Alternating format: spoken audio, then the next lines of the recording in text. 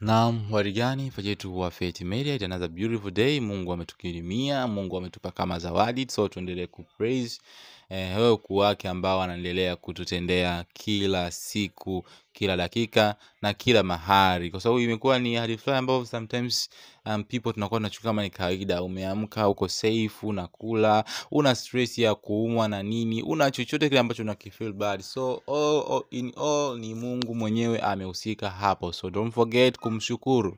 Umeona, sometimes inakuwa ngumu hata kushukuru, wanakwambia unapoamka tushukuru, so people wanakuwa wakiamka wanasha washasahau kwamba kuna kushukuru.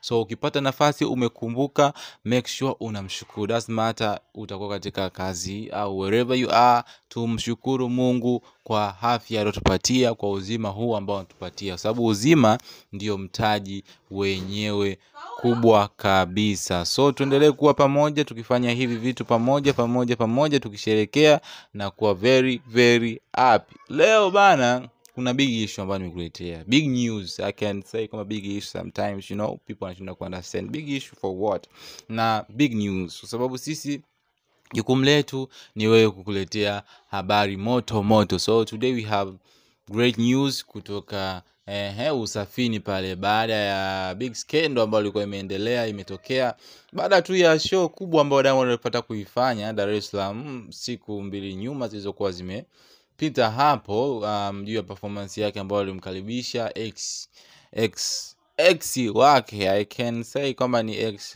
wife kwa sababu hawakubahatika kuwa na ndoa la mtoto, lakini ni ex girlfriend wake ambaye anafahamika kwa jina la Sala. bana bwana, ukizungumzia Sala kwa sasa hivi ni binti ambaye ana trend all over eh, every area kwenye mitandao wapi na wapi Sala Sala Sala Sala Sala Sala Sala. So Sala amekuja like kuchange ile situation ambayo ilikuwa inaendelea between Harmonize and Diamond Platnumz.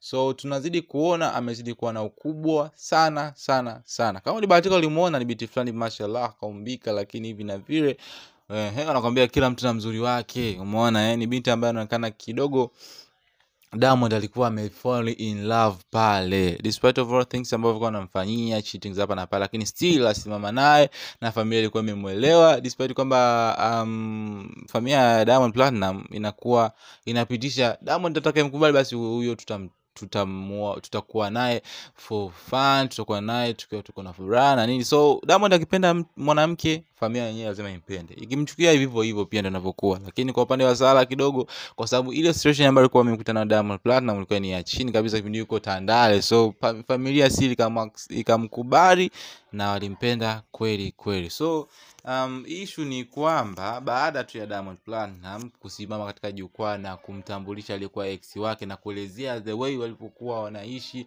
na moyo wake jinsi ulivyokuwa nampenda, tumeona kuna kitu ambacho kilikuwa kimeibuka hapo katikati, na tukapata kuona katika first, tukapata kuona katika mtandao au insta story ya mdogo au dada wa Diamond Platinum, namzungumzia Esma, baada ya kuandika pale kuhusiana na Zuchu kuondoka nyumbani. Eh, nyumba ambayo anaishi yeye mama Diamond pamoja na Diamond Platinum. Kuondoka na nguo zake zote.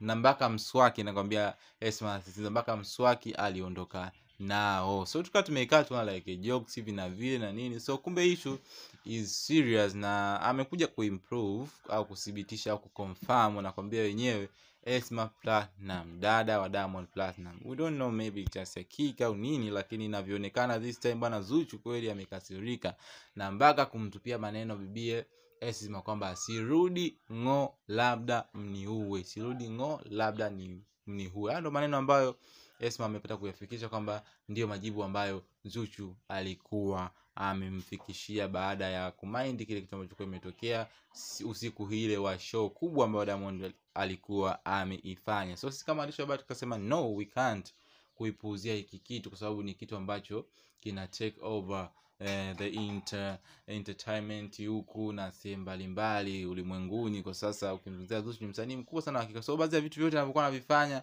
inakuwa lazima itikise kwa moja au nyingine, na ukimzuia Diamond Platinum bwana, ukimhusisha huwezi kuacha kabisa watu wakataka kufahamu what is going on between that those people ambao wako katika mlolongo huo mzima. Humu ndani kuna mwenzangu uje Austin, so tunakusogezea big news kutoka helikopta za Fate Media, sehemu fulani tulivu kabisa.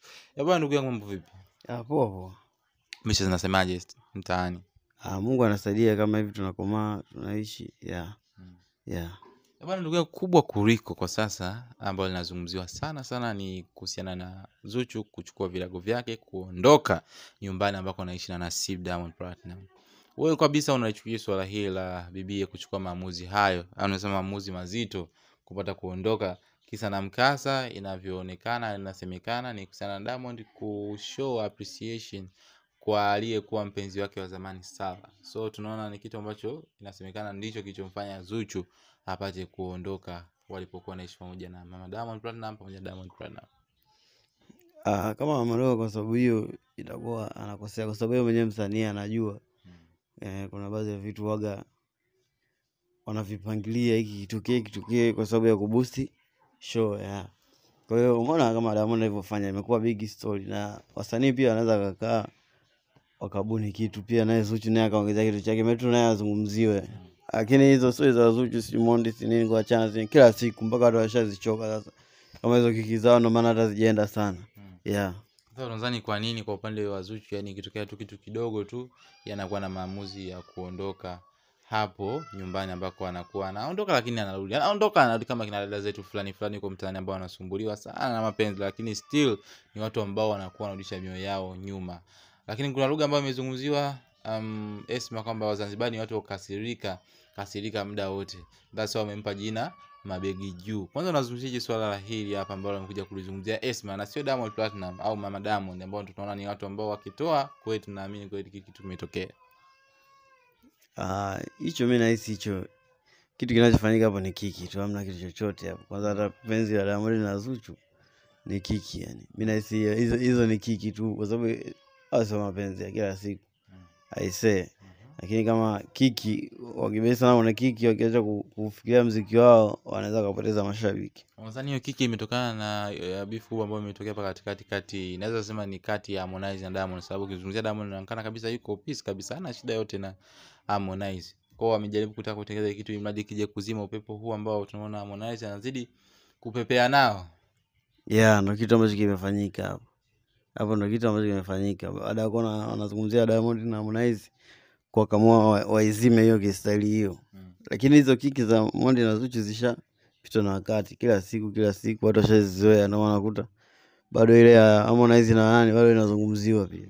Sasa unadhani kitu kipi ambacho kinawapunguzia wawili hao between Diamond Platnumz pamoja na Zuchu na mpaka inawapelekea muda wote Diamond kutaka tu kuwa juu Harmonize chini. Unadhani kuna kitu gani ambacho anajaribu zaidi kukitengeneza au kitakachowaharibia kuhusiana na yeye na Zuchu kwenye muziki? Ah, sema muziki ni ushindani, kila mtu anataka awe juu kuliko mwenzie. Kwa hiyo hapo ni kipengele, kila mtu anaumiza kichwa, afanye nini, afanye nini, ushaona, ili awe juu zaidi. Ndio hivyo unakuta mtu anaanza kutengeneza tu kakiki, ili tu azungumziwe yeye. Yeah. Aisee, mimi nikushukuru sana kwa muda wako na kwa, udada, kwa uchambuzi mzuri kabisa. Tutakutana katika um, big news nyingine ambazo zilikuwa zikiendelea hapa Feti Media.